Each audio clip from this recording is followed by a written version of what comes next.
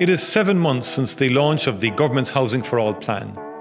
During that time, we have made strong progress towards increasing the supply of housing and delivering a sustainable reformed housing system. The need for accommodation, arising from our humanitarian response to the situation in Ukraine, makes the achievement of these goals more important than ever. There are positive signs of progress. Construction commenced on over 33,000 new homes in the 12 months to February, the highest rolling 12 month total since 2008. Affordable purchase and cost rental homes are now being delivered. Three bed homes at Kilcarbery Grange in South Dublin were recently made available at prices 20% below open market values.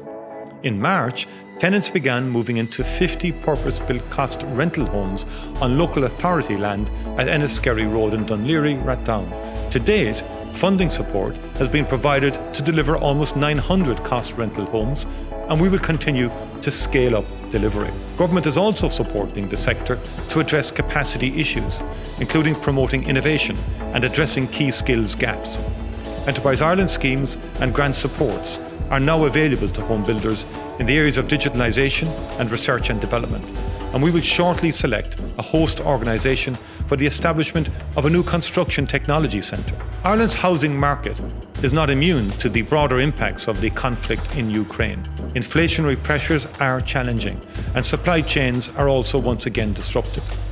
In the short term, every effort is being made across the state to provide temporary accommodation for those arriving from Ukraine. In parallel, we remain fully focused on implementing Housing for All at pace and to a scale and ambition which meets our needs.